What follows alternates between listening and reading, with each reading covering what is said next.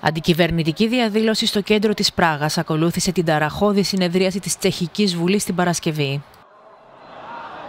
Η κυβέρνηση του Αντρέα Μπάμπης κατάφερε να επιβιώσει τις πρότασεις μομφής που υπέβαλε η αντιπολίτευση.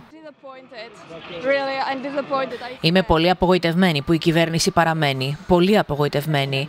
Είναι απαράδεκτο που μια κυβέρνηση με ένα τέτοιο άνθρωπο στο τιμόνι δεν έπεσε. Όλο και περισσότερος κόσμος είναι εναντίον του, οπότε καλύτερα να φύγει. Η εξέλιξη ήταν αναμενόμενη, δεδομένου ότι τόσο οι σοσιαλδημοκράτες όσο και οι κομμουνιστές είχαν δηλώσει ότι δεν θα στηρίξουν την πρόταση μομφής. Το όνομα του δισεκατομμυριούχου πρωθυπουργού Μπάμπης έχει εμπλακεί σε έρευνα για απάτη. Αντιμετωπίζει κατηγορίες για κατάχρηση ευρωπαϊκών επιδοτήσεων για μια επιχείρηση που μεταβίβασε σε συγγενείς. Ο ίδιος το αρνείται.